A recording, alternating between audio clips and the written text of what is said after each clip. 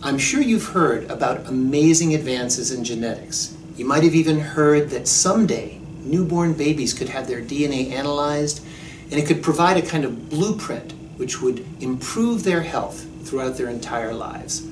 Well, that future's happening now. And I help run the BabySeq project, the world's first randomized controlled trial that's examining the impact of providing that kind of DNA analysis to the babies and, and their families. But here's the thing, we still need more babies, and I think I hear one out there. Does anybody have that baby? Wow, what an entrance. Let's do a quick consent process on this baby. If you get your DNA analyzed, I think you might find out some risks of future diseases and maybe how different medications might agree with you. On the other hand, it could cause mom some stress and it might put you in line for some additional medical procedures. Doesn't seem to be bothering him. So that's an introduction to the BabySeq project. No babies were harmed in the filming of this rumble.